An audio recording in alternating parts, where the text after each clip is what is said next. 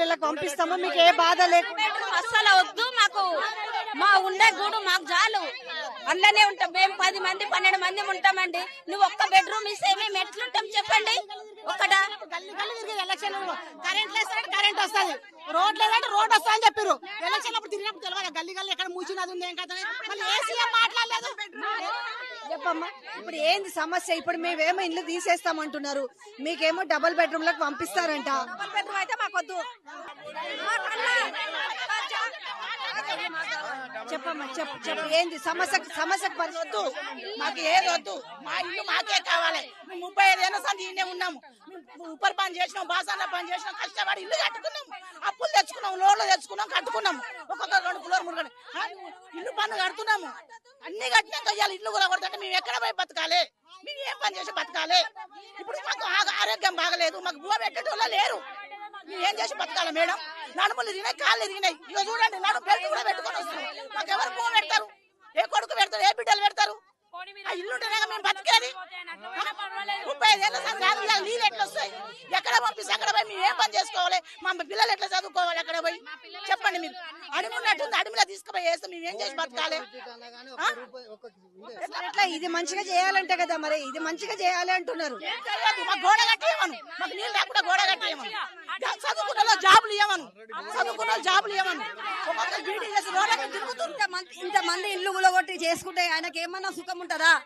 మా మా కలకల ఆయన మా మా మా ఇంతమంది కలకల ఆయన బాగుంటుందా? వేరే పని చేయమను. ఆ ఉన్న జాగాలో మూసి సుందరంగా చేసుకోమను. కానీ మా ఇల్లు కూర్చి కాదు.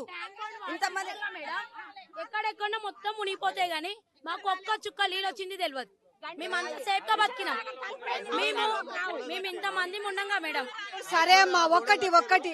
వాళ్ళ నిర్ణయం వెనక్కి తీసుకుంటలేరు. వాళ్ళ నిర్ణయం వెనక్కి తీసుకోవాలంటే మరి ఏం చేయాలి? తీసుకోవాలి ఎన్నికలు తీసుకోవాలి. మేము ఇలా ఒక్క రోజు కాదు వచ్చి ముప్పై ఐదేళ్ళ నుంచి ఉన్నోళ్ళు ఉన్నారు ఈడ. ముప్పై ఐదేళ్ళ నుంచి ఇళ్ళలో పని చేసుకొని రేకులు కట్టుకొని పోయేడి ఉంటే ఈ బిల్డింగ్ ఎందుకు కట్టుకుంటాం? కిరాయిలకు ఎందుకు ఇస్తాం ఉంటాం? ఇప్పుడు ఇల్లు పోతే మేడమై కట్టాలి. లోన్లు తీసుకొని కట్టుకున్న వాళ్ళు ఉన్నారు? అప్పులు చేసినాం. ఒక రూపాయలు రెండు రూపాయల మిత్తి తెచ్చుకొని కట్టుకున్నాం ఇల్లు. ఆ ఇల్లు పోతే ఇప్పుడు పోయేడ బతకాలి? మా అందుబాటులో పనులు ఉంటాయి అక్కడ? మీకు కూడా ఒక నిమిషం. కాదు కాదు. మన అయ్యే జాగిరి అది మనం తీయడానికి. సొంతంగా కట్టుకున్నాం. వాడే పురికి ఇచ్చింది కదా మాకు ఇది. కష్టపడి కట్టుకున్నాం మేము ఇది. కబ్జా చేసేది వాడు మేము కాదు. మా స్థలాలు తీసుకొని కబ్జా చేసేది వాడు. ఇది మా సొంత ఇల్లు ఇది. ట్యాక్సీలు కడుతున్నాం. రిజిస్ట్రేషన్ అయింది. అన్ని ఉన్నాయి మా దగ్గర. ఉంటే వాడని ఉండాలి మిమ్మల్ని పోవాలి మా ఇల్లు మాత్రం మూడు సంవత్సరాలు పిల్లగాన్ని పట్టుకొని ఇన్ని సంవత్సరాలు వైఎంసీకి వైఎంసీకి నడుచుకుంటా పట్టాల మీద పోయినా. కాలేదు. కాచి కూడా బ్రిడ్జ్ కూడా కాలేదు. పట్టాల మీద దాటుకుంటూ పోయి పని చేసి వచ్చి బతికినాం. మూడు సంవత్సరాల పిల్లలు పట్టుకొని వచ్చి కాదోడు ఇట్లా బతికినాము ఆ ఇల్లు కట్టుకున్నాము. ఎక్కడ పోదాం మేడం? ఎక్కడ ఒకటి ఆ కొడుకు మా కష్టం చేయాలా మేము ఎంతకన్నా కష్టం మా కడుపులు కొట్టడానికి వచ్చిండా మేము పైసా పైసా కూడా పెట్టి మాకేమన్నా ఉందా ఏం లేదు ఏమన్నా ఉందా మేడం బయట పోతే ఇప్పుడు ఏం లేదు నా పిల్లలు చూడు చిన్న చిన్న పిల్లలు ఎనిమిది మంది పిల్లలు ఏడపై బతకాలి ఇప్పుడు ఆడపిల్లలు ఆ? చెల్ల పిల్లలు వాళ్ళు ఎనిమిది మంది ఈడనే ఉన్నాం మేడం మేమంతా.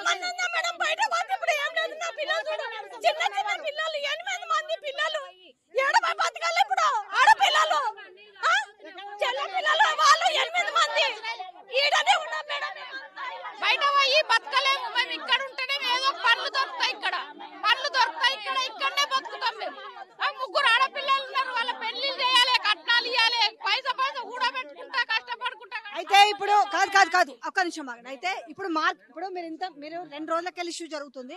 ఇప్పుడు మార్కింగ్ చేయనీకి వస్తారు. మార్కింగ్ చేయనీకి వచ్చినాక మీకు రెండు రోజులేమో టైం ఇస్తారు. ఈ టైంలోగా తీసేస్తామని చెప్తున్నారు.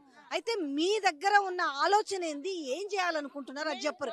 ఒక్కొక్కరు చెప్పండి. చెప్ప మేము పోం మేము ఎక్కడికి పోము? మా ఇల్లు మాకే కావాలి. మేము ఎక్కడ పోలేము దండం పెడతాం. కాలు మొక్తాం మేడం. మేము పోము. చచ్చిపో మేము పోము మేడం. చచ్చిపోతాం కానీ పోం మేడం. మాకు అంత ఇష్టం ఆ ఇండ్లు మీ దండం పెడతాం. బిల్డింగ్ మాత్రం కాదు. ఉంటే రేకుల ఇండ్లు ఆగు. రేకుల ఇండ్లు మేడం. మేము ప్రేమతోటి ఉంటాను.